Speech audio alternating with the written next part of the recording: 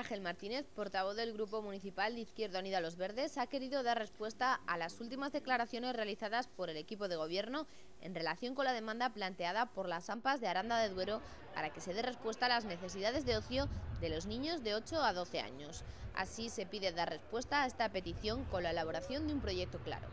Elaborar un proyecto claro y para eso proponemos que si realmente este ayuntamiento o la Concejalía de Cultura o cualquier otra concejalía, porque no tiene por qué ser exclusivo un trabajo de esta concejalía, puede ser de acción social también, ya que esta edad eh, mm, se entronca con todo lo que es eh, la atención a aquellos mm, eh, problemas que muchas veces se derivan de la desarticulación familiar o problemas mm, de predelincuencia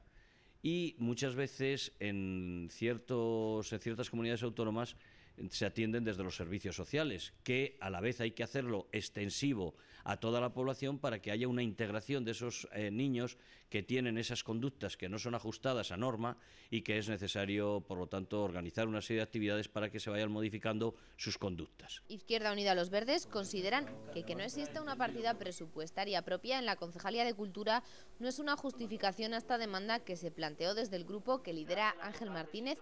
desde hace más de un año y medio como una prioridad urgente a la que se hizo caso omiso. Eh, una vez más, Izquierda Unida, puesto que ya hemos hecho varios, varios años, hace ya muchos años que planteamos que era una necesidad, eh, no nos queda más remedio que mm, señalar que por parte del Ayuntamiento, de este equipo de gobierno, existe desde luego una serie de justificaciones que no se pueden sostener desde ningún punto de vista. Hablar de que la partida presupuestaria que hay en cultura no es suficiente o que hay que buscar una partida porque no saben todavía cómo cubrir esa demanda, desde luego es querer mm, sencillamente eh, derivar el problema hacia donde no es. Este ayuntamiento está haciendo modificaciones presupuestarias permanentemente, todos los meses hay alguna modificación y por lo tanto no sería ningún problema hacer una modificación para buscar una partida presupuestaria que cubriera esta demanda. De esta manera, Izquierda Unida Los Verdes centraría la actividad en los dos centros cívicos, norte y sur, con actividades durante los fines de semana, fijándose en modelos de gestión como la de los centros cívicos de Vitoria. Llegar a un acuerdo con alguna de las asociaciones de padres, ya sea como en el caso que se hace en Santa Catalina con la ludoteca o con otra propuesta similar como es el caso de la Concejalía de Juventud, para que se dé respuesta a este problema. Por lo tanto, que no nos vengan con derivaciones, diciendo que se va a buscar la partida, que da la sensación de que lo que se quiere es alargar en el tiempo este tema y que vaya pasando el año y no se dé respuesta a un problema que es urgente.